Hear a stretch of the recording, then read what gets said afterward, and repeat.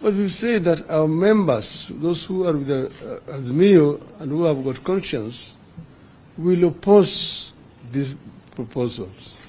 We will oppose the proposals and we hope that those the genuine uh, Kenya Kwanza members who also have got the interests of ordinary Kenyans at heart, some who still feel about the, the which they used, will see the, the, the fallacy of trying to introduce these measures here and how these measures are going to hurt ordinary common man whom they say they are going to assist through a bottom-up approach.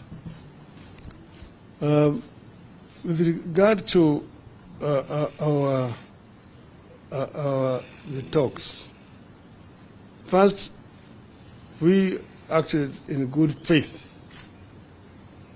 uh, to call off the demonstrations last Thursday because Kenya Kwanza had approached us and said that they were ready now for talks and that we are going to remove uh, Mr. Keynan, whom they had uh, put in as among one of their delegates.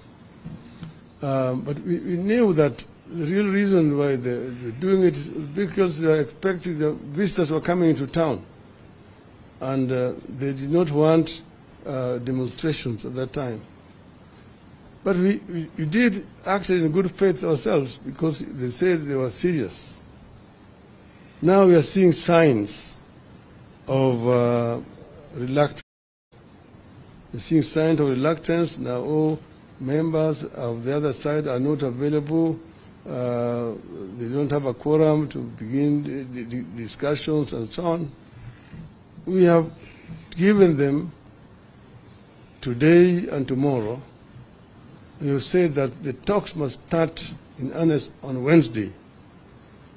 And if their delegation is not ready by Wednesday, we will treat that gentleman's agreement as cancelled. And we will then now explore other options available to us as a Do you have any question?